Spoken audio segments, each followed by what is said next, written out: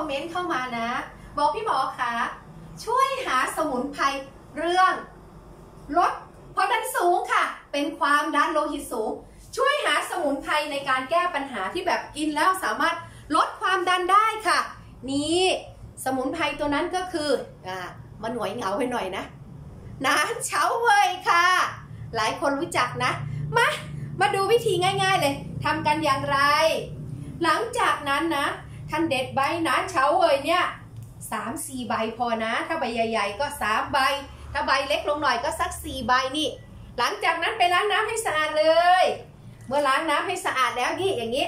ลิ้นน้ำออกมาค่ะ ใส่น้ำลงไปต้มประมาณ2แก้วนะ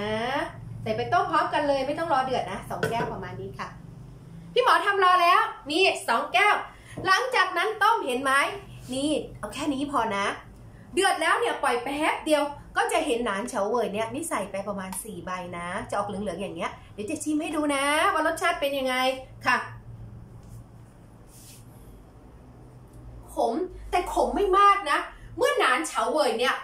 เอามาต้มแล้วเนี่ยพูดง่ายๆเอามาสตูแล้วเนี่ยก็จะรสชาติการขมของเขาจะน้อยลง ท่านก็ยกขึ้นดื่มกินไปให้เห็นก่อนนะ น้ำเนี่ยยกขึ้นดื่มกินค่ะ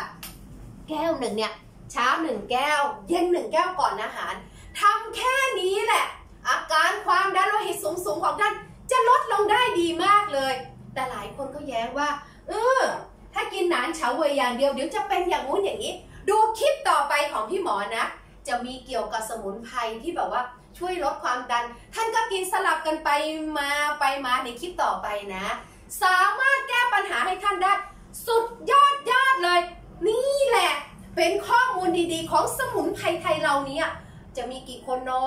ะที่รู้ว่าทำตามคลิปนี้ของพี่หมอสิคะ สามารถลดความดันโลหิตสูงของท่านได้ดีจริง ๆ เลยนะ ถูกใจยังไง กดติดตามช่องไว้ค่ะ ค่ะ สวัสดีค่ะ